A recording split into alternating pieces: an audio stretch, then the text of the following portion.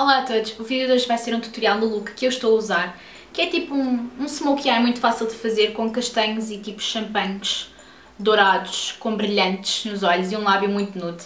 É um look bastante simples, mas eu usei este look no meu vídeo de favoritos de julho, se não estou em erro, e houve muita gente a pedir-me para fazer um tutorial, e portanto é isso que vamos fazer no vídeo de hoje, por isso vamos começar.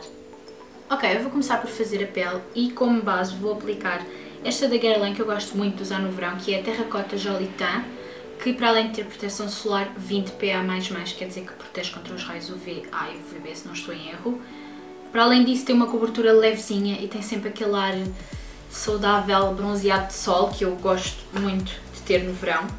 Portanto vou aplicar esta base numa camada fininha na minha pele.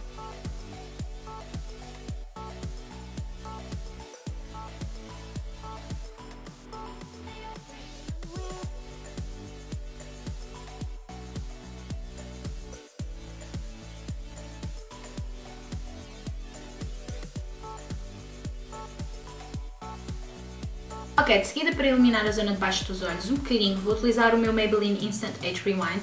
Vou aplicar só um bocadinho nesta zona para iluminar um bocadinho, trazer um bocadinho de luz à cara e vou espalhar com o meu dedo porque já se sabe que eu gosto muito de espalhar um, o corretor ou o iluminador com o dedo, em mim, evidentemente. Sinto que um, o quente, a temperatura do corpo ajuda a que o iluminador ou o corretor ou o que for um, derreta melhor na pele Portanto, é por isso que eu gosto de usar o dedo. Porque sinto que para além de espalhar melhor, faz com que o produto absorva melhor, não sei, não sei explicar, mas gosto, gosto muito de usar o dedo.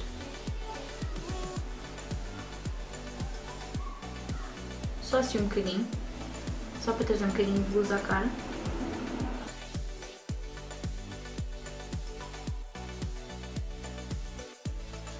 Por norma, eu em seguida aplicaria pó solto na minha pele e fixava esta zona dos olhos com pó solto ou pó translúcido ou o que for. Mas como eu hoje vou utilizar produtos em creme, no verão gosto mais de utilizar produtos em creme, no inverno não tanto, no verão gosto. Portanto, hoje vou utilizar produtos em creme tanto para bronzear como para blush e iluminar. Portanto, para bronzear vou utilizar este bronzer da Chanel que eu não uso muito em mim porque acho um bocado quente e aqui ainda. Acho um bocado quente, mas gosto muito de utilizar noutras pessoas em peles um bocadinho mais morenas. Mas como eu já estou bem morena, eu sei que não parece com estas luzes na minha cara, mas eu já estou bem morena, já consigo utilizar um bocadinho e vou utilizar este bronzer em creme que parece muito, muito quente, mas não é assim tão quente. Vou utilizar um bocadinho nesta zona para bronzear, um bocadinho nas têmporas e depois uh, vou aplicar blush.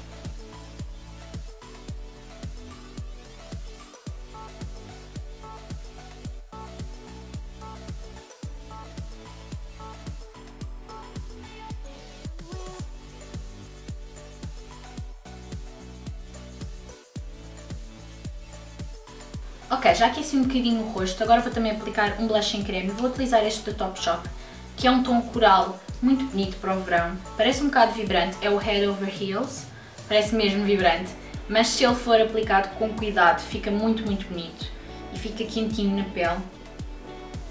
E eu vou aplicar um bocadinho nas minhas maçãs do rosto, mais uma vez com o dedo, porque eu gosto do dedo. Gosto de aplicar com o dedo produtos em creme. Lá está. Portanto, o que eu tenho estado a fazer é limpar o dedo entre aplicações, como é óbvio. Fica logo assim um tomzinho bonito, quente. Não demasiado frio, não demasiado quente, bonito. E eu sei que parece um bocado vibrante, mas ele fica realmente muito bonito e natural. Aliás, os produtos em creme têm essa vantagem, é que ficam com um aspecto mais natural na pele, menos empoeirado. Claro que depois também duram menos tempo na pele, mas isso é uma coisa que temos que temos que escolher. Por fim, vou também utilizar um iluminador em creme. Vou utilizar a minha nova palete da Sleek com estes iluminadores lindos que eu já mostrei num vídeo. E vou usar talvez este iluminador aqui. Não o branco nem o champanhe, vou utilizar este champanhe mais escuro, tipo mais para o rosado. Eu vou aplicar também com o dedo nos topos das minhas maçãs do rosto. Cuidadosamente, não exagerar muito Ui, este tem muitos bocados de brilho, não é muito a minha coisa. Vou passar para o champanhe, só champanhe. Um, este que eu estava a utilizar não era só refletivo, tinha mesmo pedacinhos de glitter e isso não fica nada natural nas bochechas.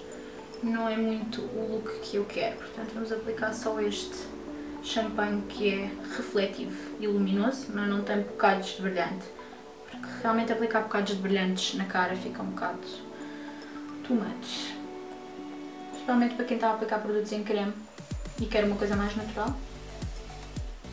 Ao estar a aplicar brilhantes na cara vou estar a, a fazer exatamente o contrário.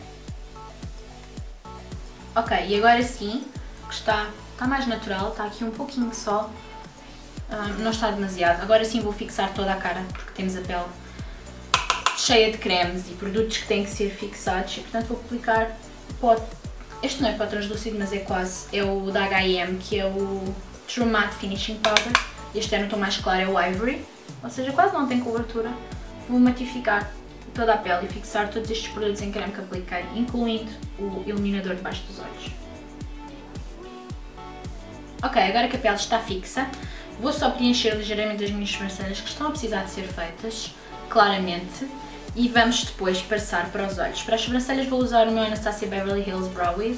Eu de momento estou a usar o tom Soft Brown, que é um bocadinho mais claro do que o que eu costumava usar, mas eh, sinto que tem que ser uma coisa um bocadinho mais clara para não ficar tão borrante, especialmente porque elas estão precisar de ser feitas e estão em modo selvagens, portanto convém não usar um tom muito escuro, que é para não chamar demasiada atenção o facto de elas serem tão diferentes e estarem a precisar tanto de serem feitas. Vou preencher ligeiramente e não vou alterar a forma delas porque não vale a pena. Já se sabe que elas não, elas têm a vida própria, elas não colaboram comigo, por muito que eu queira.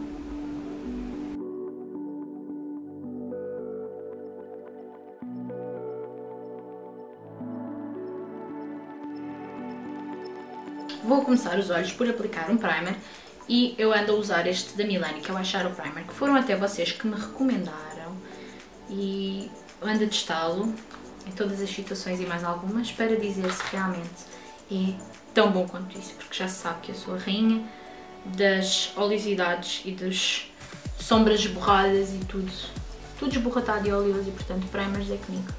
Ando a experimentar este e direi se gosto ou não, mais para a frente. Vou aplicá-lo em toda a minha pálpebra e por fim vou aplicar um bocadinho de pó por cima disto para fixar o primer, para que as sombras depois se espalhem um bocadinho melhor, mais facilmente. Ok, vou pegar na minha paleta da Too Faced Chocolate Bonbons e vou pegar numa cor, qual é que era a cor? Se não estou enganada, era esta cor aqui, chamada Mocha. E vou aplicar um bocadinho na minha arcada.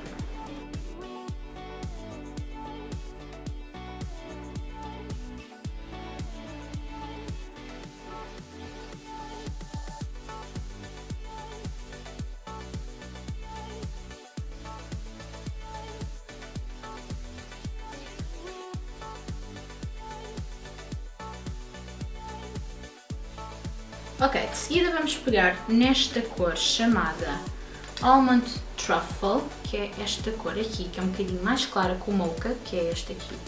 E vamos, pode até ser com o mesmo pincel, se tiverem passado por um Kleenex e já não tiver demasiada sombra da outra.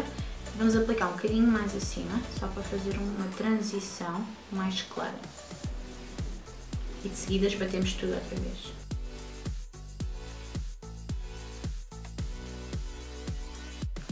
Seguida vou aplicar uma sombra base na pálpebra e vou utilizar esta aqui, que é o tom iluminador mais um, champanhe, mais refletivo. Vou aplicar como base na minha pálpebra e de seguida vou aplicar com o dedo, porque agarro melhor esta sombra, que é uma sombra com muito glitter. Vou aplicar esta Café au ou Café au Leite, ou, bem, whatever, como quiserem pronunciar. Que é tipo um champanhe com grandes bocados de glitter, tipo prateados vou aplicar por cima da outra. Isto porquê? Porque esta sozinha, como tem tanto glitter, não fica tão opaca e deixa bocadinhos que ficam quase sem sombra, portanto, ao aplicar a sombra base, onde não tiver o glitter terá uma sombra base. Vão ver. Vou aplicar em toda a pálpebra móvel.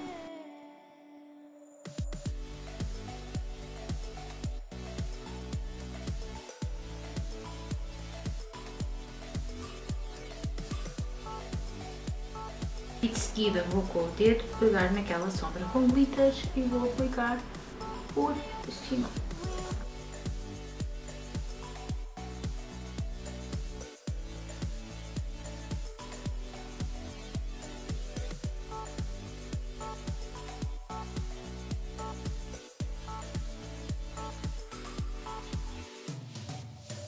De seguida, se sentirem que a sombra da arcadas bateu um bocadinho, podem ir outra vez só com um bocadinho de produto, só um bocadinho, e com o pincel, irem lá mais uma vez pôr um bocadinho mais de produto e esbater a sombra que têm na, na pálpebra agora, peço desculpa, com a da arcada. Aqui elas não ali um, uma transição suave entre elas. Ok, de seguida vou pegar num pincel mais para detalhes, gosto muito deste aqui da Zoiva, e vou pegar numa sombra castanha escura, que eu penso que foi esta Melted que eu usei, esta aqui da ponta, e vou aplicar só aqui no cantinho externo para dar um bocadinho de definição ao olho.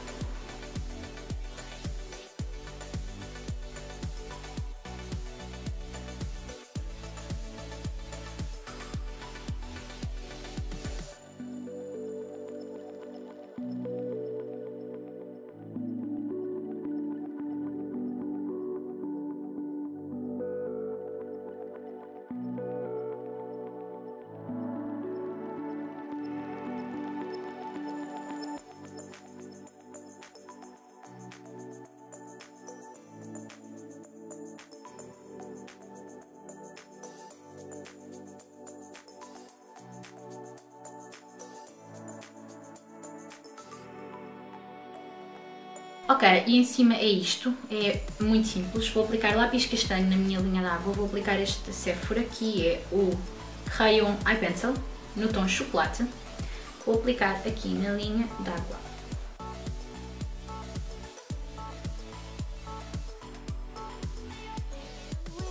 De seguida vou aplicar outra vez aquele tom malte daquele escuro, que apliquei aqui no canto externo, vou aplicar na linha das pestanas em baixo. E vou só aplicar este escuro em baixo mais nada. Eu vou aplicar em toda a linha das pestanas. Vou só deixar aqui, mesmo no interior limpo, que é para aplicar um bocadinho de iluminador.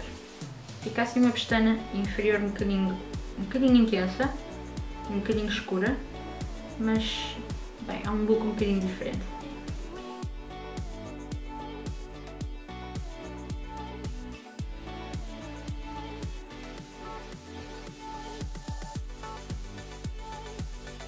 Enfim, para acabar o look, vou aplicar a sombra iluminadora que aplicámos em toda a pálpebra, esta grande, vou aplicar aqui no canto interno do olho, só para trazer um bocadinho de luz ao olho, e vou aplicar muito, muito rímel.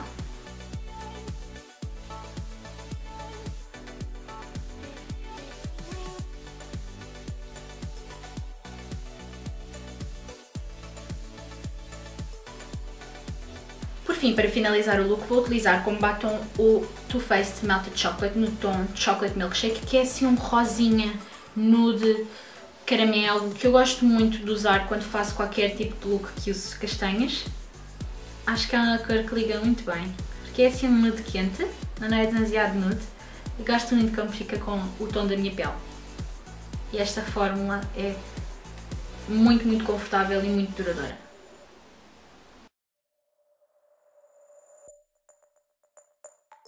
E pronto, é este o look super simples, super rápido de se fazer. Espero que tenham gostado. Não se esqueçam de subscrever o canal e partilhar e até ao próximo vídeo.